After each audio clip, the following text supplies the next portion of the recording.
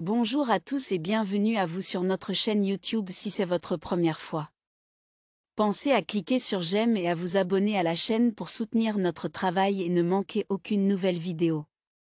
Je vous souhaite une agréable écoute. Pour investir dans l'immobilier méditerranéen, commencez par identifier vos critères de sélection comme le pays, le type de propriété et votre budget. Ensuite, consultez les agences immobilières locales ou les sites web dédiés pour repérer les biens disponibles. Faire appel à un notaire local est essentiel pour vérifier la légalité du bien. Avant d'acheter, pensez aussi à visiter la propriété pour vous assurer de son état et de sa conformité à vos attentes. Enfin, n'oubliez pas de prendre en compte les taxes et frais annexes liés à l'achat immobilier. L'investissement dans l'immobilier méditerranéen peut être une excellente opportunité si vous prenez le temps de bien préparer votre projet.